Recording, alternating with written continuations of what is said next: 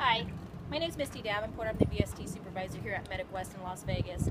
I've been called out by Mr. Mario Perkins to take this here cold water challenge, and all I have to say to you, Mario, is challenge accepted. After I take this Arctic dive here, I'll be calling out five people to do the same. It, after all, it all goes to a charity that's very near and dear to me, Candlelighters Childhood Cancer Foundation. Uh, so the five people I'm going to be calling out are number one, Medic West Associate Supervisor Mr. Michael Brody Waite. Number two, VST Lead Shane Dresser. Number three, Medic West Paramedic Jonathan Cuff. Number four, Medic West Paramedic Mr. Daniel Clark.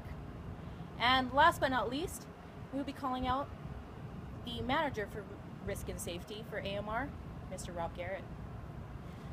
All right.